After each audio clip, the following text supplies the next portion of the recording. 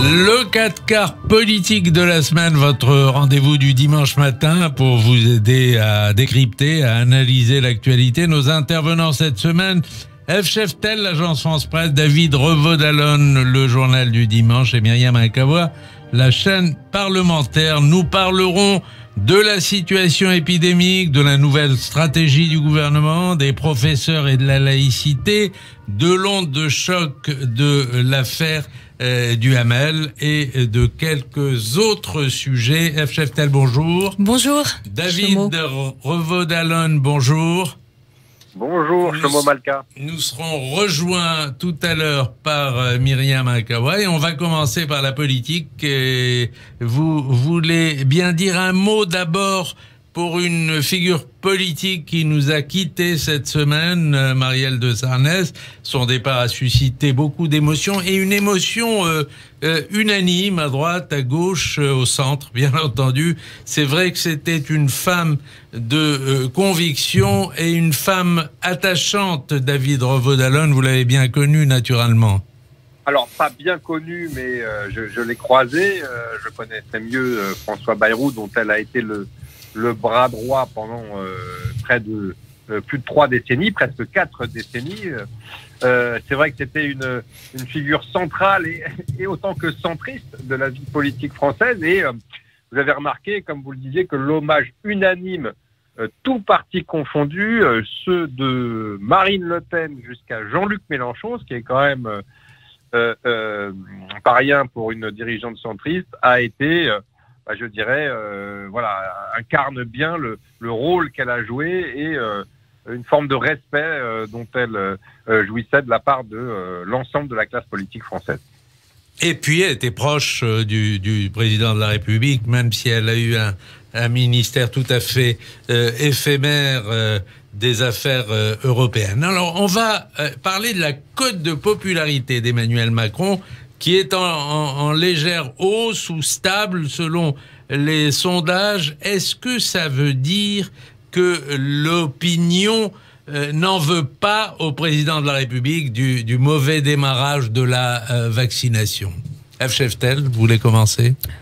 Oui, enfin, il faut croire que c'est le cas. En tout cas, euh, je pense que les Français, euh, apparemment selon les sondages aussi, se convertissent à la vaccination. C'est-à-dire qu'au départ, euh, on disait qu'on était le pays d'Europe euh, où le, la défiance était la plus forte. Hein, je crois de l'ordre de 40% euh, des, des, Français qui voulaient pas se, se, se euh, faire vacciner. Et alors, euh, de manière paradoxale, la lenteur, c'est devenu un objet désirable finalement, le vaccin.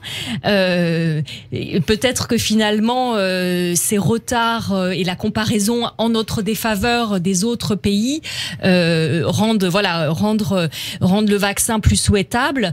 et et puis en même temps, euh, voilà, cette prudence a été a pu être perçue justement comme une euh, prise en compte hein, des, des, inquiétudes, euh, des, des, voilà légitimes hein, sur sur les effets les effets secondaires. Donc euh, voilà, je le, je le comprends. David Rovodalon, vous, vous, avez la même. Vous pensez que ces sondages positifs sont le signe d'une réelle adhésion de l'opinion ou est-ce que ça veut dire simplement euh, que les Français estiment qu'au fond, aucun gouvernement ne pourrait faire mieux? Alors, je ne suis pas tout à fait d'accord avec l'analyse avec l'analyse de ma consoeur. Je pense qu'il faut distinguer, euh, je dirais, le, le, le, rapport au vaccin et à la vaccination d'une part et euh, la popularité du président de l'autre. Vous avez remarqué que effectivement beaucoup de Français étaient opposés au vaccin. C'était même plutôt 6 sur 10 euh, initialement euh, euh, dans, dans, la phase pré de pré-vaccinale, je dirais.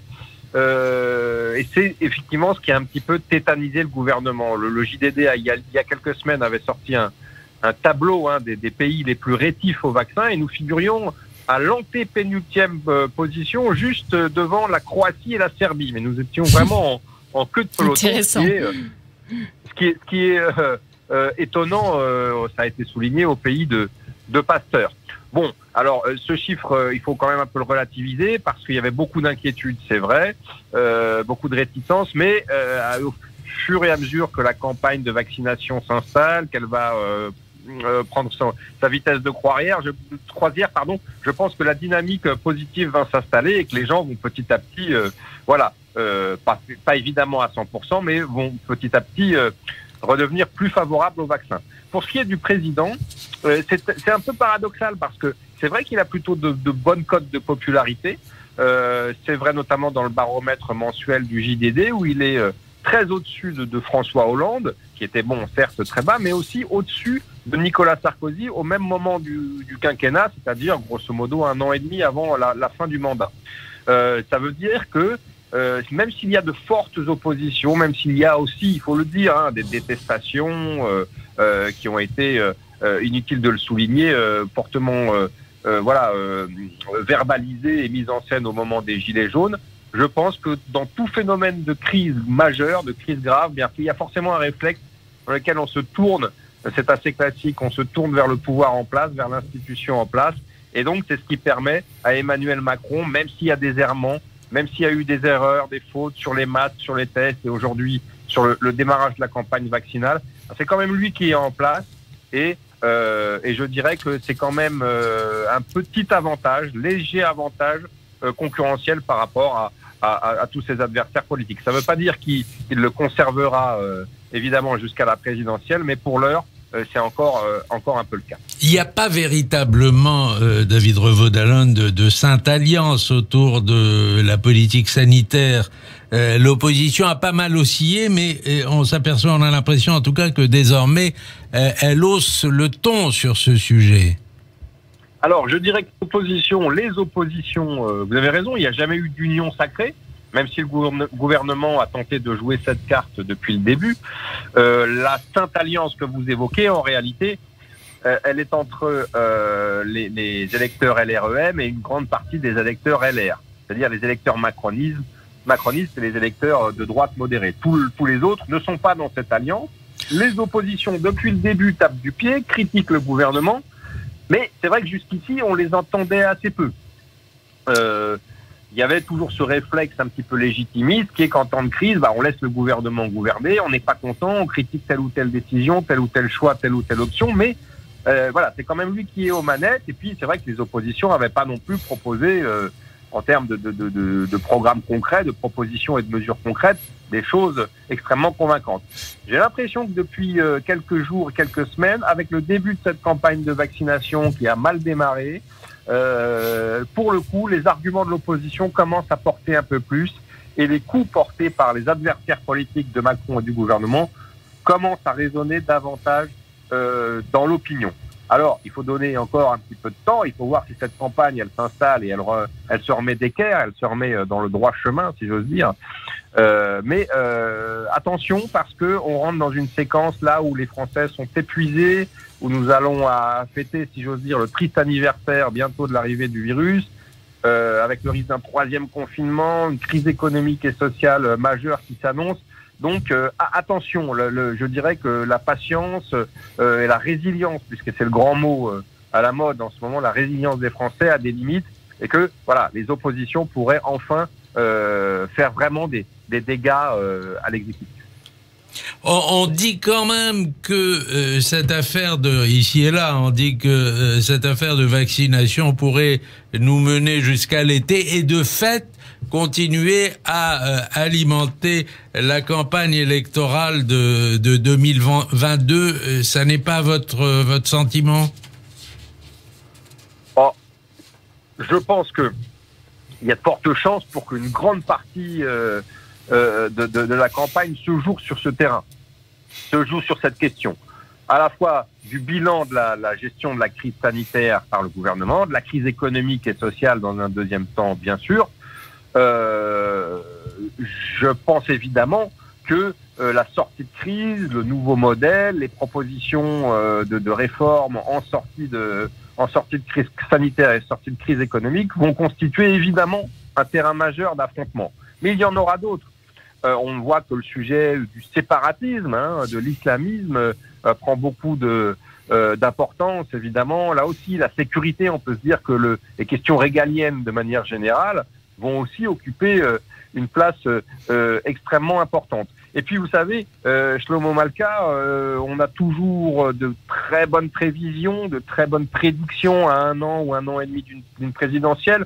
On se dit toujours que c'est tel ou tel qui va être candidat, tel ou tel qui va être élu, que c'est telle ou telle proposition ou tel ou tel sujet qui va faire la campagne. Et en réalité, c'est jamais le cas. Souvenez-vous des, euh, des différentes des différents euh, prétendants euh, qui étaient très bien notés ces dernières années, de Dominique Strauss-Kahn à Alain Juppé, euh, voilà, et qui n'ont à l'arrivée pas pu se présenter. Donc prudence, même si à l'évidence cette question-là sera centrale, et bien sûr la question de la vaccination et de sa réussite dans la campagne.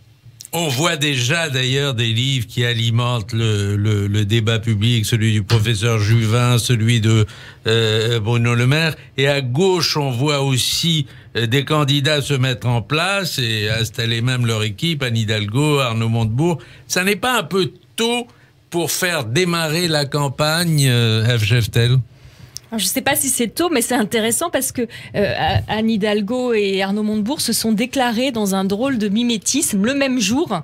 Euh, enfin, ils ils sont pas déclarés à la présidentielle, c'est un peu tôt pour le dire, même si euh, voilà, il fait un peu de doute, mais ils ont peu de doute là-dessus, mais ils ont lancé le même jour leur plateforme présidentielle. Donc pour l'une, c'est pour la maire de Paris, c'est idée en commun. Pour l'ancien ministre de l'économie, c'est l'engagement, hein, qui est donc fait suite au titre éponyme de son livre. Euh, donc, après celle de, Jean-Luc Mélenchon euh, annoncée en novembre, là, il commence à avoir un, embouteillage à gauche. Euh, et c'est intéressant parce que euh, justement, puisque vous parliez de euh, David, euh, mon confrère David parlait de la, la question de la, la, laïcité.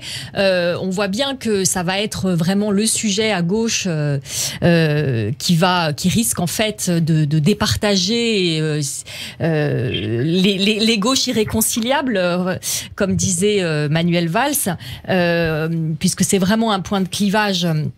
Euh, entre euh, entre LFI et disons le Parti socialiste. Alors là-dessus, par exemple, c'est c'est c'est intéressant parce que Montebourg d'un côté, euh, bon, ça n'a jamais été son, c'est un républicain, il a toujours défendu la laïcité, mais ça n'a jamais été non plus euh, son cheval de bataille.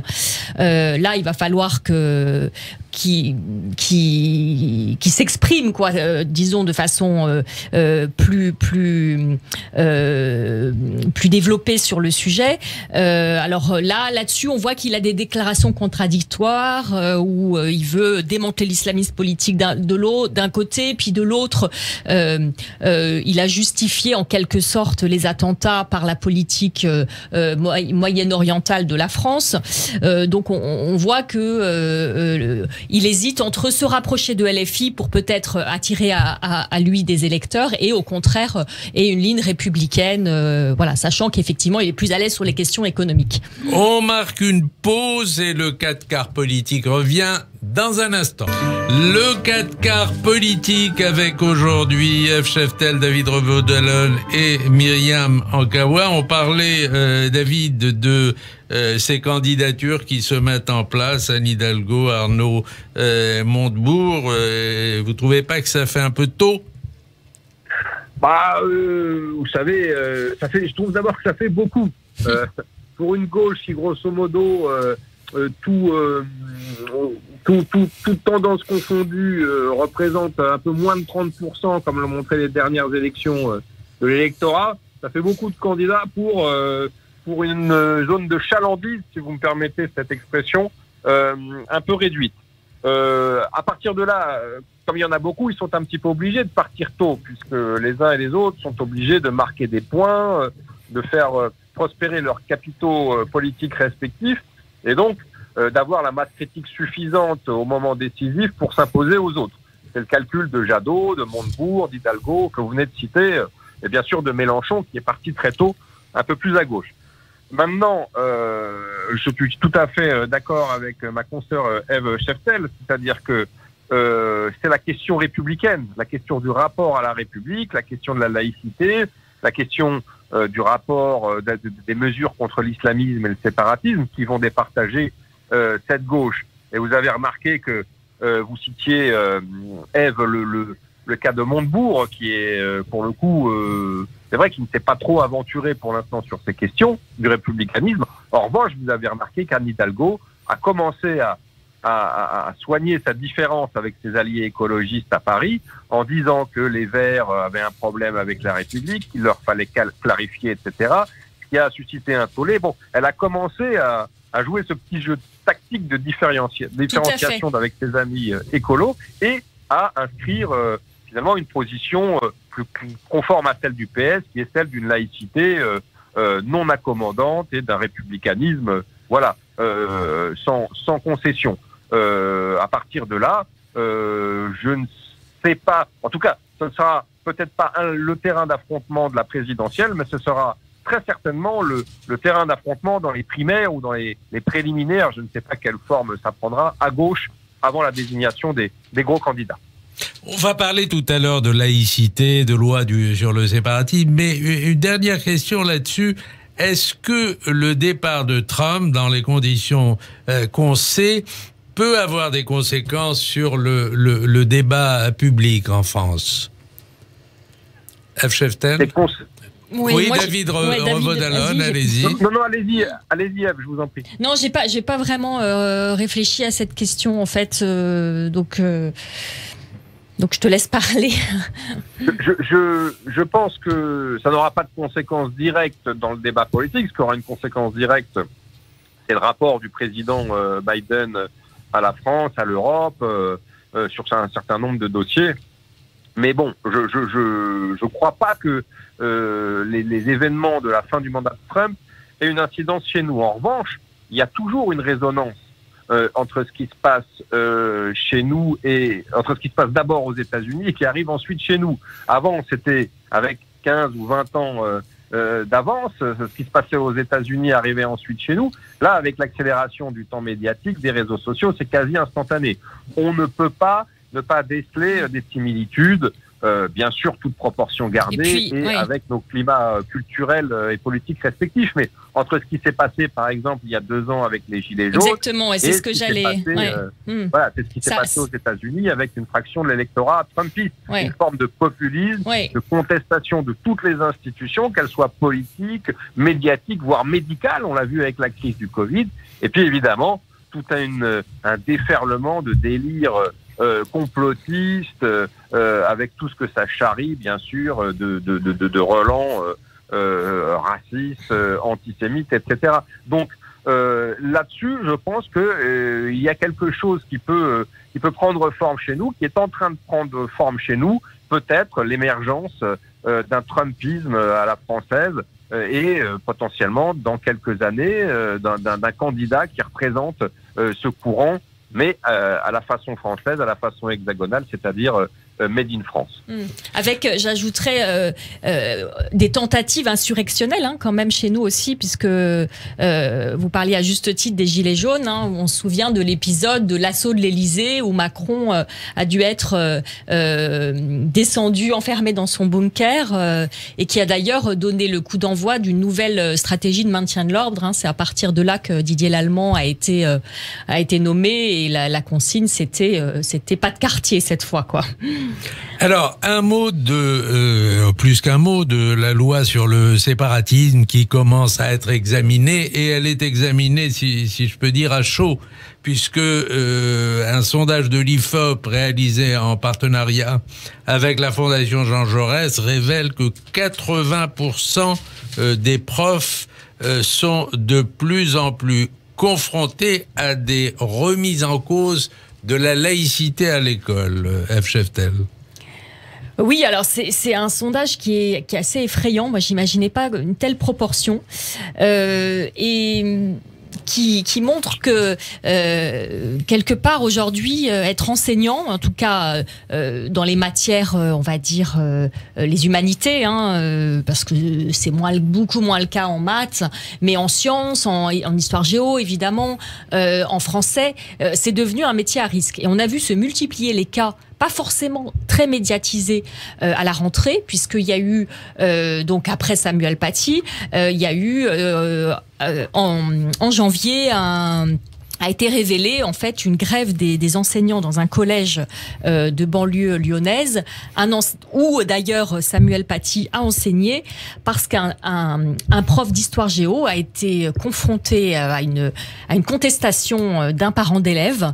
Euh, en rapport également, je me souviens pas les détails, mais en rapport avec avec la religion, avec l'islam, et qui s'est senti en danger une médiation a été proposée par la direction aux parents, au père. C'était à nouveau un père d'élève, comme le Brahim Shnina de, l'affaire Samuel Paty, et euh, qui a refusé cette médiation. Et apparemment, le prof. Le collège s'est mis en grève, non? Le collège s'est mis en grève. Alors, le, prof aurait décidé de carrément de rendre son tablier, c'est le cas de le dire, puisqu'il veut devenir cuisinier, euh, en se disant bon, voilà, c'est devenu trop compliqué d'exercer ce métier.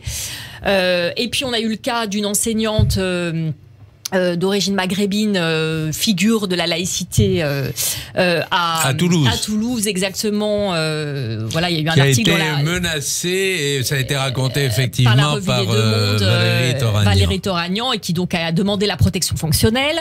donc encore une fois à la rentrée, on a eu le cas à Aix-Marseille d'une enseignante, pareil, placée sous protection d'université cette fois, une juriste qui avait eu des propos malheureux. D'ailleurs, elle disait le, le, le judaïsme et le euh, et le et l'islam sont euh, sexuellement transmissibles. Bon, c'est vrai que c'était pas forcément très euh, ça,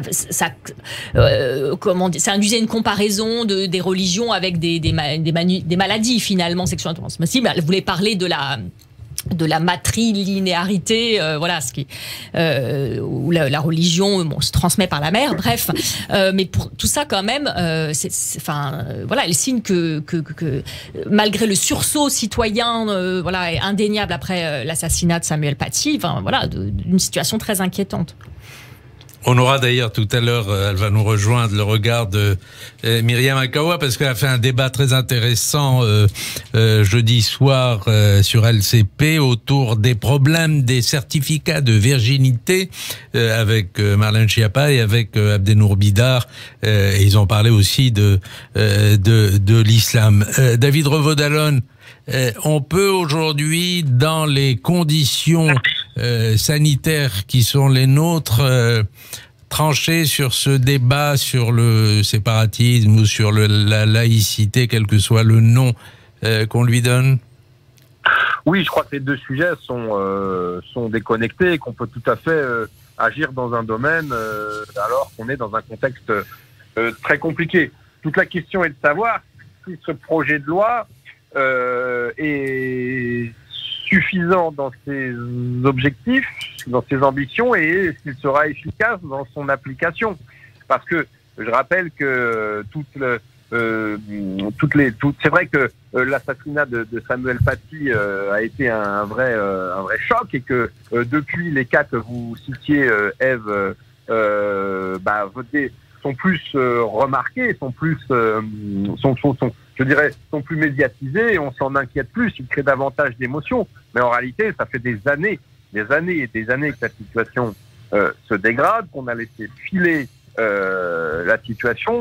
Je vais pas rappeler ici le, le livre de Bernard Ravet, proviseur euh, dans les quartiers nord à Marseille pendant une grande partie de sa carrière, livre sorti il y a quelques années dans lequel il racontait des choses épouvantables euh, sur l'état du, de, de, la scolarisation dans ces dans ces quartiers. Et puis, bien sûr, le fameux rapport, rapport euh, qui avait été remis euh, à l'époque de François Fillon et qui avait été soigneusement euh, enterré ensuite. Le rapport Robin, oui, tout à fait. Hmm. Voilà, rapport Robin. ça fait des années que la situation, qu'on laisse filer cette situation, que l'État, que les gouvernements successifs ont laissé pour des raisons de paix sociale, de clientélisme ici et là. FCFTL, vous êtes bien placé pour le savoir puisque c'était l'objet de votre livre.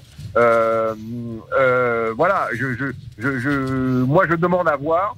Euh, je pense que c'est un chantier de reconquête républicaine qui va durer des années, qui va durer peut-être même des décennies. Et donc, euh, je pense que ce projet de loi séparatisme, il va dans la bonne direction, mais j'ai des doutes sur sa capacité euh, à enclencher une reconquête républicaine d'ampleur qui est d'ampleur, pardon, qui est, qui est un chantier euh, phénoménal, enfin un chantier gigantesque. Donc, bon, bon point. Euh, mais euh, je demande à voir euh, voilà, ce que, ce, que, ce que ça donne en termes de, de résultats sur le terrain. Alors, Eve, c'est vrai que, puisque David l'évoque, vous aviez vous-même brocardé certaines pratiques clientélistes dans un livre euh, qui s'appelle Le maire et les barbares. C'est toujours le cas aujourd'hui et ça menace d'être le cas dans les futures euh, élections? Bah, je dirais que ça, ne peut que se renforcer euh, le clientélisme parce que c'est lié à notamment des élus euh, qui, qui euh, euh, la base, la base électorale, pardon, s'est réduite de plus en plus, c'est-à-dire que l'abstention progresse et donc il est beaucoup plus facile aujourd'hui de, de, faire tomber une ville et on l'a vu lors des dernières municipales. Le 4 quarts se fait une pause et nous revenons dans un instant. Le 4 quarts politique de la semaine et nous sommes rejoints par euh, Myriam Ankawa de la chaîne euh, parlementaire. Myriam Ankawa, bonjour. Bonjour, on, on vous a, on a parlé de vous euh, tout à l'heure puisqu'on a rappelé ce débat que vous aviez eu jeudi soir avec avec Marlène Schiappa et avec aussi Abdenour Bidar euh, sur les problèmes de la présence de l'islam et sur euh, euh, également sur les certificats de virginité. C'était tout à fait intéressant. on parlait à l'instant aussi de la loi sur le séparatisme, mais c'est vrai que il y a quand même un verrou à ce projet de loi, c'est la représentation euh, de l'islam qui a du mal à se mettre en place euh, avec notamment la démission euh, du recteur de la mosquée de Paris. Est-ce que est-ce que c'est rattrapable ou est-ce qu'on va rester encore dans ce dans ce flou et dans cette incertitude Myriam? C'est très mal parti. Ça, c'est une évidence. Moi, je pense qu'il faut saluer le courage de Shems Eddin Hafiz, le recteur de la mosquée de Paris, parce que au fond, il, euh, il, lève le voile sur, euh, sur le CFCM et il le fait dans un communiqué public. Euh, les Français connaissent pas forcément les différentes fédérations qui représentent le culte musulman en France.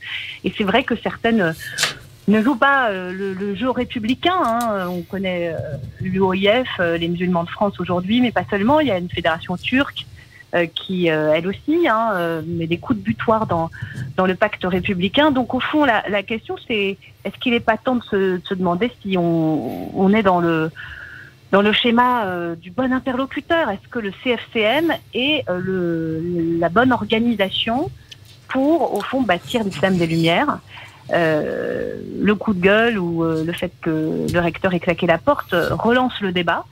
On peut s'étonner aussi du fait que le président de la République, a énormément consulté hein, Emmanuel Macron, ça fait trois ans qu'il travaille sur le sujet, on ne peut pas lui reprocher de ne pas avoir euh, auditionné toutes les personnalités qui comptent hein, sur ce sujet. Euh, et bien, il finalement décidé de s'en remettre euh, au CFCM pour faire ce travail, qui est un travail certes compliqué en termes de formation des imams euh, en France avec des formations labellisées, mais au fond, et c'est ce que disait très bien Abdenour Bidar, le, le philosophe spécialiste de l'islam hier sur le, plateau d'LCP, euh, pourquoi on ne donne pas plus de place au spirituel? Est-ce qu'au fond, c'est forcément la religion qui doit bâtir cela? Euh, Je n'en suis pas sûre. Est-ce qu'il n'est pas temps voilà, d'élargir les frontières de cette organisation-là? Et d'inclure un certain nombre d'exégètes du Coran qui sont des intellectuels et pas forcément des hommes des hommes d'église.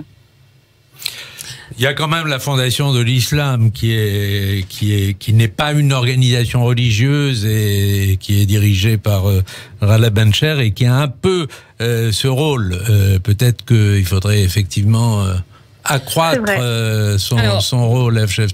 bonjour euh, Myriam. Euh, bonjour. En fait, oui, c'est mal parti, cette euh, institutionnalisation de, de, l'islam de France, mais moi je dirais que tant mieux et que finalement, euh, ça a permis, c'est plutôt une bonne nouvelle en fait, cette, ce, ce, ce, communiqué là du, du recteur de la, de la mosquée de Paris. D'abord, son existence est une bonne nouvelle, parce que c'est quelqu'un de remarquable, de courageux, de, qui a un discours euh, vraiment impeccable. Et puis je dirais que le CFCM, enfin je veux dire, ça n'a jamais marché, ça n'a aucune légitimité. Bon, pour avoir travaillé en banlieue, euh, euh j'ai jamais vu quelqu'un qui se sentait, euh, voilà, représenté par par cet organisme. je trouve en plus que c'est assez hypocrite parce que en réalité, la question c'est aussi celle de l'islam français et aussi de l'instrumentalisation politique de l'islam par un certain nombre d'élus. Euh, voilà, c'est-à-dire qu'il y a une réalité, il y a, certes une offensive euh, de l'islam politique euh, depuis 89. Hein, Keppel, Gilles Kepel dans ses livres l'a bien expliqué. Donc depuis Creil, dix ans après la révolution islamique d'Iran, mais il y a aussi une politisation de l'islam par des élus. Voilà, c'est ce que j'ai montré dans mon livre. Mais du coup, je trouve que le débat, en se focalisant là-dessus, empêche de voir aussi la responsabilité de tout à chacun, à savoir des financements illégaux du culte, enfin en violation de la loi 1905, des prêts de salles, un tas d'accommodements à des fins électorales qui ont eu pour effet, euh, qui ont encouragé finalement le séparatisme, qui ont nourri le séparatisme. Euh, voilà. Et après, les, les, élus ont beau jeu sur les plateaux d'aller brocarder l'islamisme, etc. Alors que la réalité, quand même, c'est que dans des villes de droite comme de gauche, euh, et je pense que la, ça va, la question va se reposer au moment des, des élections régionales, euh, il y a une instrumentalisation très forte euh, de, euh, des islamistes qui sont parfois, je dirais même, presque installés au pouvoir. Euh, voilà. Alors on va euh, on va parler quand même de la situation sanitaire puisqu'il y a eu de nouvelles règles euh, sur l'épidémie. On a eu droit jeudi dernier à l'énoncé de ces mesures, le couvre-feu à 18 heures pour tout le monde, les nouvelles mesures à destination des écoles et des universités. Est-ce que ce sera suffisant pour endiguer la vague qui nous attend, Myriam? Donc, je suis absolument pas légitime hein, pour répondre à cette question. Il faut vraiment euh, aller voir les épidémiologistes. Et encore, ils sont pas tous d'accord. Ce que j'observe, c'est que le, le, gouvernement a communiqué hier sur l'efficacité du couvre-feu des 18 heures dans les 25 départements où il est mis en place. Or, euh, j'avais sur mon plateau Martin Blachier. Alors, certes, euh, il n'engage que sa parole, mais il est spécialiste de, santé publique et il est, il est très, très attentif à toutes les données. Il disait, on ne peut pas vraiment dire qu'il y a un effet 18 heures sur la circulation du virus. Et j'avais même un élu de Mortemevel, Thibaut Bazin, pour ne pas le citer, élu de l'opposition Les Républicains, qui expliquait que chez lui, euh, le couvre-feu était mis en place à 18 heures et il ne voyait pas effectivement euh, de résultats sur euh, la situation épidémique. Cependant, il y a une menace. La menace, c'est le variant britannique. Euh, même s'il y a déjà d'autres variants euh, depuis le début euh, du Covid. ce serait, ce serait évidemment très très compliqué si il remplaçait, même si ça semble un peu inévitable, le, virus qui circule en France. Donc, puisqu'il est plus contagieux, il faut il faut prendre des mesures.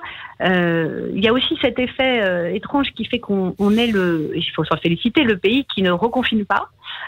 pour le moment, partout ailleurs c'est le cas. Donc euh, la dernière fois qu'on a reconfiné le coup, Qui ne ferme pas ses écoles, hein, je dirais, euh, Myriam. Hmm. Parce oui, que c'est ça finalement, confiner vraiment. Euh. Bien sûr, mais hmm. ça, il faut en être fier et hmm. c'est vraiment la colonne vertébrale de ce gouvernement. Il faut le saluer, même si les protocoles sanitaires sont renforcés dans les écoles. Mais euh, reconfiner, c'est, on s'en souvient, c'est version premier confinement avec les commerces fermés, etc. Et le mot a été a été lâché. Donc évidemment, les semaines qui vont venir vont être très importantes. On est sur un plateau élevé, je reprends les termes des spécialistes, mais on n'est pas dans euh, l'épidémie hors de contrôle. Donc euh, c'est vraiment des décisions qui, reviennent aux politiques, c'est des décisions d'équilibristes, on arbitre entre différents moindres mâles. Euh, c'est toute la question éthique de cette épidémie, c'est compliqué. voilà, c'est tout. Ce qui est compliqué, c'est de c'est d'accepter ces décisions, mais je remarque aussi, et alors les sondages sont parfois un peu incroyables, que certains sondages montrent que les Français auraient préféré un confinement court, mais un confinement plutôt qu'un couvre-feu à 18 heures. Euh, voilà, c'est parfois difficile à comprendre, mais ce, qui est ce que montre ce sondage, c'est qu'au fond, les, les Français, ils veulent de la lisibilité euh, et malheureusement, c'est très difficile à, obtenir dans, les temps actuels. Alors, vous dites, euh, les Français veulent de la lisibilité. On, parle souvent de deux lignes. La ligne de reprise de, euh, l'économie, dans laquelle on pourrait mettre le, ministre des Finances, et la ligne sanitaire. Euh, est-ce que, est que le président Macron a choisi entre euh, ces deux lignes ou est-ce qu'il il oscille en permanence? Alors pour moi, euh, la question aujourd'hui, elle est plus là. Elle s'est posée au début de la crise, effectivement, puisqu'il y a eu des débats sur est-ce que le confinement stricte avec fermeture des écoles, euh, des commerces, etc., n'est pas euh, l'arme atomique, euh, voilà, qui va complètement casser l'économie. Puis on a eu quand même une chute de l'activité de l'ordre de 40%, etc. Donc ça a effectivement eu des effets énormes, mais Là, je trouve qu'il y a un pilotage, moi, au plus fin, en fait, de, l'épidémie avec un ajustement immédiat et systématique des mesures économiques euh, à la nouvelle donne, euh, on va dire, euh, alors pas sanitaire, mais enfin aux nouvelles mesures sanitaires. on voit bien hein, d'ailleurs avec ces conférences de presse communes, avec Jean Castex qui distribue la, la, la, la, parole aux différents ministres. Alors c'est toujours Bruno Le Maire en second, voilà. Puis après suivent ministre de l'Éducation nationale, de, etc. mais on voit bien qu'à chaque fois on remonte les plafonds. voilà, on a on, avance le couvre-feu, on remonte les plafonds, euh, voilà. Donc, je, trouve qu'on n'est plus dans ce débat. Euh, de euh, économie ou, santé, en fait, on, est, le gouvernement essaye de tenir les deux bouts et, franchement, il le fait pas trop mal. merci la mhm. Banque centrale européenne parce que c'est quand même grâce à grâce à elle que on peut euh, emprunter comme ça à, carrément, quasiment à, coût, à coût négatif, c'est-à-dire qu'aujourd'hui les gens payent pour euh, avoir de la dette française, quand même, on en est là, euh, et que euh, en fait on peut on peut financer toutes ces mesures. Je veux dire, sans l'Europe, d'une part le plan de relance et l'endettement commun, sans la Banque centrale européenne de l'autre, on aurait été, on n'aurait absolument pas pu financer des mesures aussi coûteuses de chômage partiel, qui ont eu pour effet quand même que les revenus des ménages aujourd'hui ont été préservés, c'est-à-dire euh, ils, seront même euh, de façon supérieure à 2019. Et les faillites ont été euh, inférieures, bien inférieures en 2020 à l'année 2019. Bon, c'est des effets qui, qui peut-être ne dureront pas, mais qui montrent quand même que, que tout a été fait, hein, quoi qu'il en coûte, pour, pour soutenir l'économie, sans sacrifier, il me semble, hein, peut-être Myriam, tu auras un autre avis là-dessus, mais sans sacrifier à la santé. Et d'ailleurs, on s'en tire plutôt bien finalement par rapport à nos voisins, que ce soit soit les mhm. Allemands qui aujourd'hui ont dépassé le cap de, des 2 millions de contaminations, euh, qui, euh, qui, qui, se rapprochent des 60 euh, qui ont dépassé les 40 000 morts, alors qu'ils étaient décrits comme les bons élèves, voilà, épargnés par l'épidémie, ou que ça soit les Anglais, évidemment, qui c'est triste, mais qui s'enfoncent dans, dans, la crise. Myriam je, je suis entièrement d'accord avec Eve Cheftel. Euh, quand, quand, ça se passe mieux que les autres, quand on gère mieux, quand le gouvernement français euh, gère mieux, il faut le reconnaître, hein, ça n'a pas toujours été le cas. Donc euh, ça fait déjà quelques semaines que si on regarde hein, sur la carte de l'Europe, eh ben, nos, nos, indicateurs, avec l'Espagne, hein, parce l'Espagne aussi a payé un, un, lourd tribut dans cette crise sanitaire, euh, on peut dire qu'on est, je ne sais pas si on peut dire les bons élèves, mais en tout cas les moins mauvais. Voilà, petit bémol euh, sur la question économique, c'est évident qu'il faut soutenir euh, et que le gouvernement n'a pas vraiment tranché. En fait, il essaye de soutenir les deux en même temps et c'est là encore, il faut s'en féliciter.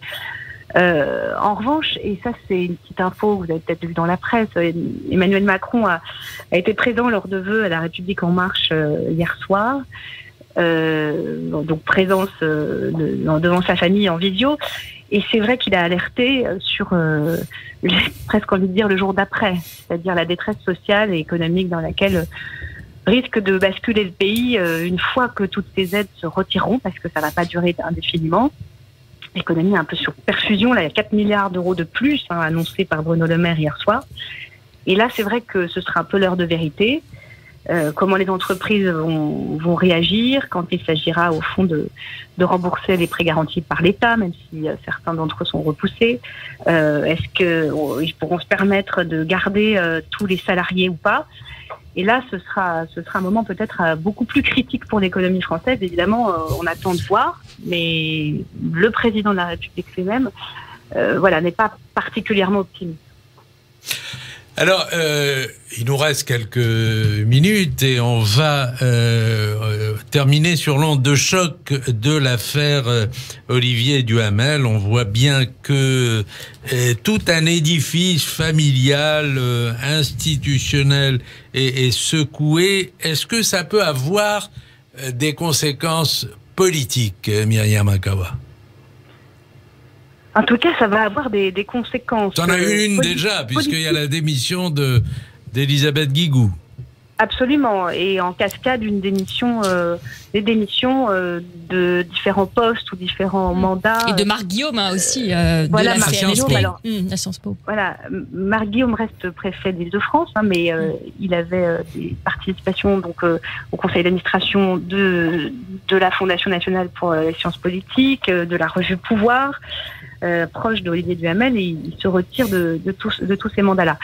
Euh, donc il y a des conséquences, elles sont évidentes, elles sont politiques, mais elles vont être, euh, je pense, et je l'espère d'ailleurs, sociétales. Euh, il y a des sondages extrêmement préoccupants, même effarants. une personne sur dix en France aurait été victime d'inceste, et je ne parle pas d'agression sexuelle, je parle d'inceste. C'est énorme.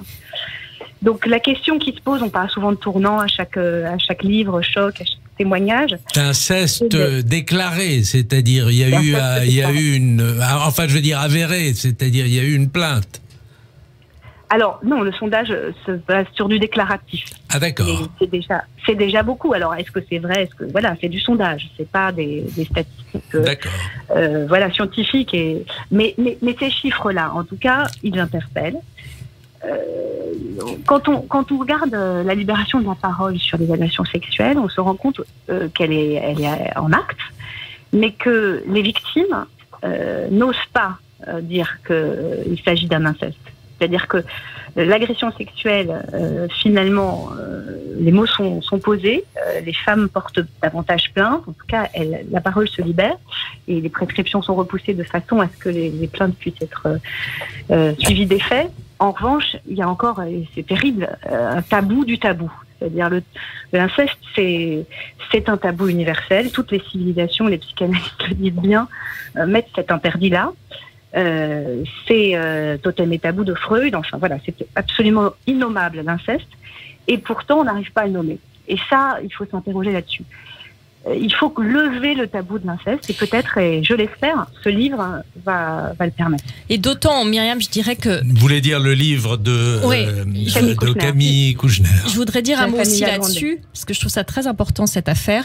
D'abord parce que MeToo avait euh, finalement occulté cette question des violences aussi sur les mineurs. Euh, et moi, je, je, le déplorais parce que euh, c'est un vrai sujet, les, les, les, les violences, y compris pas seulement incestuelles, mais les violences sur les mineurs euh, et sur les jeunes filles euh, qui sont des proies. Euh, voilà. Donc je trouve qu'effectivement, il fallait un sui une suite à à, enfin un, un MeToo de l'inceste, si je pourrais mmh. dire. Euh, donc c'est une très bonne chose. Ouais, la deuxième... À l'Assemblée, par exemple, pardon, je, ouais, je, ouais. je, je, suis à distance. Je t'interromps un instant, Eve. Je t'en prie. À l'Assemblée nationale, il y a deux textes euh, déjà euh, sur l'agenda euh, sur la question du consentement. Et, et je parle sur l'inceste parce que euh, j'ai vérifié en droit aujourd'hui, euh, la question du consentement se pose encore devant le juge. Euh, en matière d'inceste. Et ça, je pense que la loi doit évoluer là-dessus. C'est-à-dire que euh, quand on est dans une violence sexuelle intrafamiliale, il ne faut pas que euh, l'enquête se pose la question de le consentement. Il ne doit pas y avoir de, de problème C'est ce qu'a dit d'ailleurs, si j'ai bien le... compris, euh, jeudi soir à votre antenne, euh, Madame Chiappa. Oui. oui. Absolument. C'est incroyable qu'on soit encore là euh, une violence sexuelle commise au sein de la famille, la victime doit prouver la contrainte. Ça, c'est pas possible. Il faut qu'à mon avis, on évolue là-dessus pour l'inceste en particulier. quitte à créer une infraction spécifique. Il y a eu une évolution aussi sur le, sur le délai de prescription. Euh, Absolument. Euh, Marlène Schiappa en a parlé d'ailleurs. Ça a été euh, prolongé à 30 ans après l'âge adulte de la victime. Oui, alors sans rentrer là dans le débat juridique, il y a une autre conséquence pour moi très importante de cette affaire, et on est encore dans le prolongement de MeToo, c'est la question du, des hommes de pouvoir quand même, et du, du pouvoir, du pouvoir euh, là masculin, parce que c'est un homme. Alors les, les, le papier de, du Nouvel Observateur, de Libération, du Monde. Je trouve que les, les journalistes sont vraiment très bien travaillé là-dessus un homme de pouvoir qui conseillait quand même euh, Emmanuel Macron, hein, qui était, euh, euh, qui cumulait un, nombre de, de, de jetons de présence dans différents conseils d'administration, etc., et d'émoluments, qui étaient partout, qui voulait pas lâcher. C'est aussi la question aussi de cette génération. Qui voulait même entrer au Conseil constitutionnel. Et qui voilà, qui exactement, qui rêvait et qui s'en vantait. Pouvoir dans la famille, pouvoir dans la dans la sphère intellectuelle, politique. Et, et je trouve que que c'est très sain en fait, euh, parce que voilà, place, euh, place peut-être aussi aux plus jeunes, à une nouvelle génération, place aussi aux femmes, euh, même si les femmes dans cette affaire n'ont pas forcément joué toujours un, rôle, que, enfin en particulier Evelyne Pizier, hein, comme on l'a vu, de d'aller dans le sens de la de la de la transparence et de la vérité et de la protection surtout des des, des, des enfants. Mais mais je trouve qu'il y a quelque chose quand même euh, je sais pas ce que ce que ce que t'en penses, Myriam, quoi, mais de, de nécessaire là. Hein, euh. Ah, mais évidemment, évidemment. Il y, a plusieurs choses dans ce que raconte Camille Kouchner. Il y a ce que c'est qu'un climat incestueux, euh, parce que c'est pas seulement euh, l'acte en lui-même. Hein. Il y a tout un, un, climat, et puis surtout ce que c'est que l'emprise qui vous empêche de parler avec cette omerta extrêmement puissante, et elle s'explique mm. dans différents cas de famille, mais particulièrement là par par un, réseau, une toile comme ça, d'Olivier Duhamel, mais qui va extrêmement loin au sein euh, voilà, des sphères de pouvoir. Et, donc on comprend à quel point euh, l'emprise de cette domination et masculine et sociale et, politique était forte. Exactement. Et là, euh, quelque part, au fond, il y a presque une sorte de paradigme voilà, de l'inceste à travers cette histoire qui, qui, qui coche tellement d'éléments qu'au fond, elle permet peut-être, elle permettra de se, voilà, une prise de conscience de ce que c'est que cet acte-là et comment c'est possible que les victimes ne puissent pas, au fond, parler avec euh, tout ce qu'on sait sur le déni traumatique, mais au-delà de ça, quand l'agresseur, en tout cas l'agresseur présumé, hmm. met en place un système. Hmm. Un tabou, euh, en fait, comme tu disais. Ouais, ah, ah. Alors, il y a eu quand même, il faut le dire, euh, même s'il nous reste peu, peu, de minutes, il y a eu une glissade de, notre ami Alain Finkielkraut sur ce sujet grave. Et pardon de poser les questions, je, sais bien que c'est difficile euh, pour vous, mais est-ce que ça méritait d'être euh, viré séance euh, euh, tenante Pardon de poser la question, hmm. mais est-ce que ça peut être un sujet de débat au moins?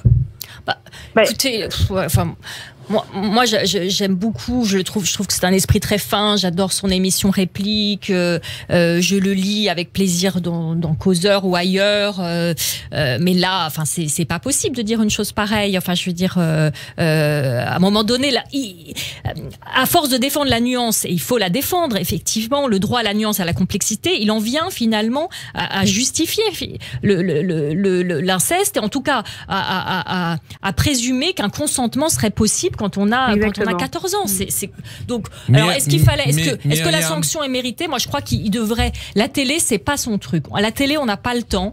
On n'a pas le temps de faire comme ici, on a de, de, de s'exprimer dans la nuance. Alors ici aussi, malheureusement, on n'a pas le temps. J'aurais voulu que euh, Myriam Akawa, euh, on, en a discuté et euh, elle a une théorie que j'ai que j'ai trouvé très intéressante sur le sur ce, ce dérapage, mais malheureusement on n'a pas le temps. Mais